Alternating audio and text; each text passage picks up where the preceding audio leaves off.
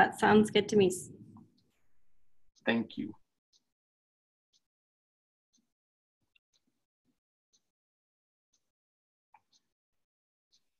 I believe we are still, we are recording.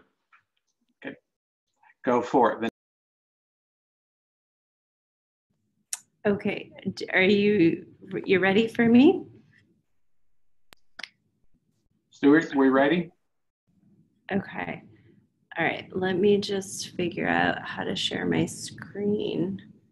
green thing above. Thank you. Um, Okay. Okay, can everyone see uh, the dashboard I have here? Yes, I can see it. Excellent. Okay.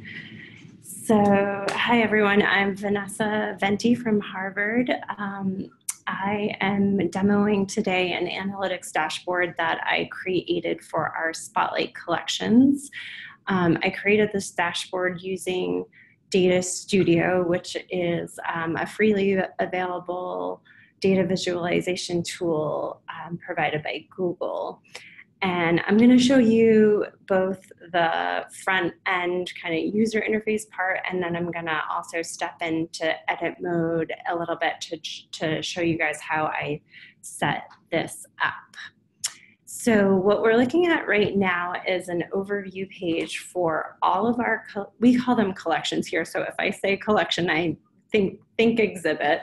Um, so yeah, so this is showing um, all the analytics for all of our exhibits combined, but every single one of our exhibits has its own dashboard page as well. So if I click on daguerreotypes, for example, you'll see now we're just looking at the analytics for the daguerreotypes exhibit. And so Data Studio has a lot of different um, widget um, or charts, I guess actually is what they're called. And so if we're looking at this top row here, these are called um, scorecards charts where you're just, they're just showing like a, a one little snippet of data. So the sessions, the, the number of users, you know, the bounce rate for that collection. And then in the next row, I used a series of pie charts to show how users are finding the collection, where they're coming from, um, the percentage of new versus returning visitors, and the devices they're using. And so I could have easily, just as easily, shown these as bar graphs or line charts, um, but I thought pie charts made the most sense for this case. Um, and then the next row, I've got a couple tables showing um, the most visited pages and the search terms. And these, as you can see, all of these widgets are interactive. If you hover over them, you get a little bit more data. Um, you can scroll through these tables and page through the next you know, page of results. And you can also download a CSV of the full set of data for that that chart, which is really helpful for some of these bigger um, ones that have a lot more data in them. And so then finally on the bottom row, I have um, an interactive map that um, is a just an, a nice, neat way to show where the users are coming from. And then I have a couple more of those scorecard um, charts at the bottom showing the total number of unique searches and sessions with search. Um, and then users can also select whatever date range that they want to see analytics for. And so there's a lot of um, really nice predefined dates they can choose from. And um, I wanted to show you guys a little Easter egg that I found um, in the daguerreotypes collection. So I preloaded this just in case we had some problems. Um, but looking at the last week of December, I had found that this one item in daguerreotypes was getting a ton of hits because this is not one of our most popular collections. And so then looking at the data a little further, it, it appears that someone had posted um, a link to this image on Tumblr. And so I just want to show you guys what that image is. and that is this photo uh, daguerreotype of a cat drinking from a bowl. So it goes to show that people just love looking at photos of cats on the internet. And if you're looking to increase your analytics, maybe try putting some more cat photos in your exhibits. I think we should do a whole exhibit of just the cat Just- photos. That's what we use our digital collections for. Find all the cat photos and we'll make an exhibit. That's all we need. so I'm gonna um, switching over to um, a template that I made where I basically just copied um, the dashboard, a couple of the dashboard pages that I made um, as a template that for to share with you guys. Um, and I'm just gonna use that to demonstrate the back end. So I'm gonna go into edit mode and just show you how easy it is to, or maybe I was, here we go. Here we go. Um, so first I'm just gonna add a new page and um, here's all the list of the available charts. And I'm just gonna place one of them on the map or on the page and you'll see it automatically will populate with some data. Um, here's the data that it's pulling in right now. And if I wanted to change any of these, this is where I would go and select the different metrics to use. Um, and then, you know, just to show you another, oh, that was the, another one. Here's um, the scorecard um, chart again automatically pulling in some data to to get you started. And then if you go over to i'm just going to select this one and go over to the style tab there's a ton of options for styling the, the charts in different ways which i found to be really helpful because you could sort of customize it based on the data that you are seeing you know from anywhere from the number of slices you're seeing in the chart to changing the colors and the fonts and you know um, customizing the legends and and you know stuff like that. And then the last thing i wanted to show you guys is i'm going to go to um, this page here um, i wanted to show you how i set up the filters and um, what this is is basically i just added a filter to every one of these charts um, for this particular collection. And so if you go, um, so how I did that is if I go to manage filters, you'll see I've got a filter for every one of my collections. And then going into the edit mode, all I'm doing is I'm saying for every page that has this as the beginning of the that contains this in the URL slug, make this a filter. And then I just went and applied that filter to all of the charts on my page. And so that's all I wanted to show you guys, but I did want to. Can I ask a Oh, question? on the yes, yes. Um, could you add a filter for multiple collections? You can. You So can your keep library has on. Five, and you wanna see all five together. Yes, yes. I think you can keep on adding filters. Um, We could do that for certain types of exhibits that, you know, are behaving in certain ways. Mm-hmm. Yeah. Yeah.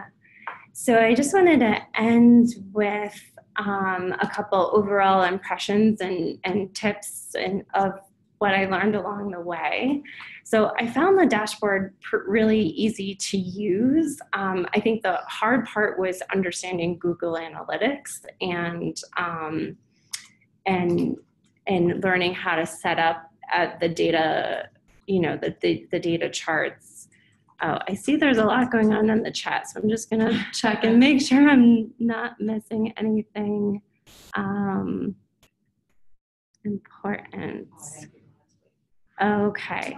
All right. No, no technical problems though, it looks like. um, okay.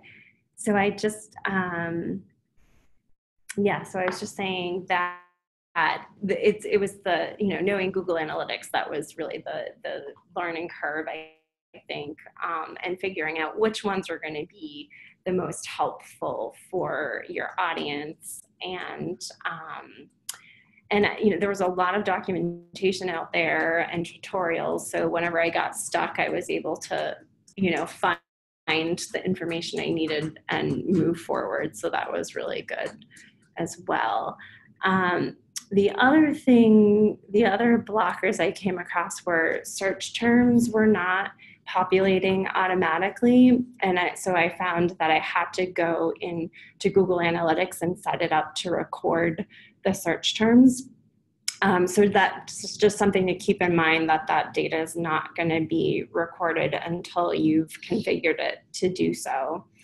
And then the the other thing was I noticed the I was getting a lot of direct as my source, uh, a lot of sources that were saying coming in as direct, and I knew that likely most people, a lot of people were coming in from our library website, and I wasn't seeing that coming up as a source. And so I did a little research on that and figured out that um, I could add what was called a UTM parameter or a tag to those URLs so that I could track Harvard Library as a source, which you can now see is now coming through over here. So that was another, you know, another thing that was again, I from time before I can't, you know, we we only have that tracked since I since I got that set up properly.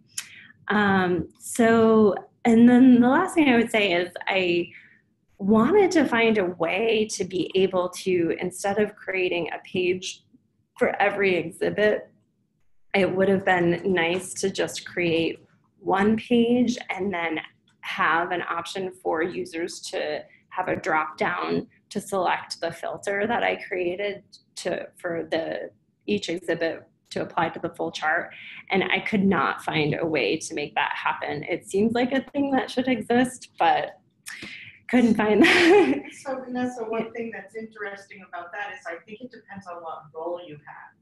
So for us, since most of the collections are um, uh, stewarded by individual curators, I'm not sure they want to see, have the option to see across the analytics across collections or, but an administrator certainly would. So it's interesting. I think you want both options actually. Yeah, and that's where we have the overview page that shows everything, and then you might just be looking at your own page instead. So, um, yeah, but but that being said, creating a new page for a new exhibit is pr- pretty easy to set up. It you know you basically just duplicate an existing page and create a new filter and apply that filter to all of your charts, and then you're done. So um, it's it's more just long term. If I wanted to change something on all of the pages, I'd have to make that change on for every single exhibit.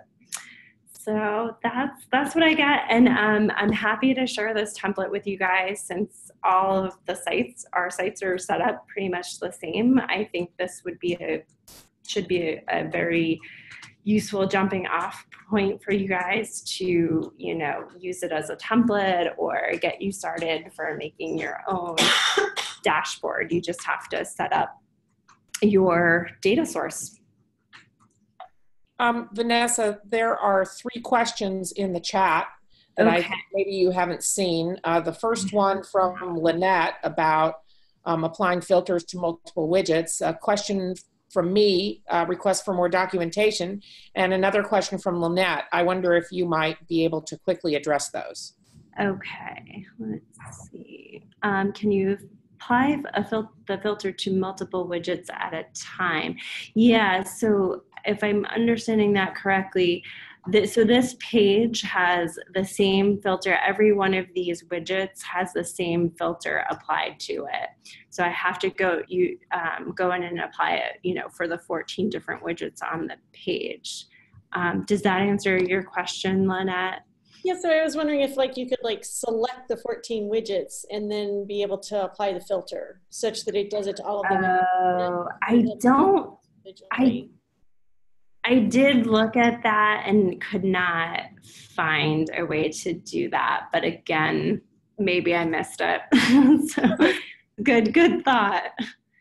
Um, Vanessa, the lessons you learned are exciting and so helpful. Would you be able to add them as a short list or a call? Yeah, I'm happy to to um, to add all that to the notes. Absolutely, Kathy. And then, Lynette, I see, did you incorporate this into your Spotlight app? So, do you mean in the administrative dashboard part? Yeah. So like um, when you're in your app, are you able to click and see these right from there? Because like all the links you're showing us right now are datastudio.google.com. Right. I didn't know if you actually can embed them into the app itself. That was something I actually I did want to look into that. Um, I'm not sure because yeah, it would be really nice to be able to just embed this on a page rather than um, yeah link out. So yeah, I have something I something to look into. All right. This is excellent, by the way. I'm, I'm very impressed with this. It, it looks like a great dashboard. Thank you. Vanessa, excellent job. Thank you very much. Absolutely. Um, and you bet. We would like to have your content. Uh, go ahead and include them in the meeting notes. And uh, we appreciate your offer of sharing the template. Uh, in a little bit, we may talk about the, the wiki and maybe how we can use that to help with sharing some of the information as well. Uh, but great. Uh, any other questions for Mike? Vanessa?